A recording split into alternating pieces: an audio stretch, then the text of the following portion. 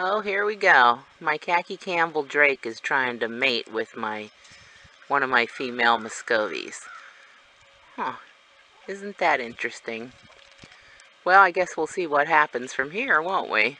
That's kind of funny. Okay, guys, have at it. Bye-bye.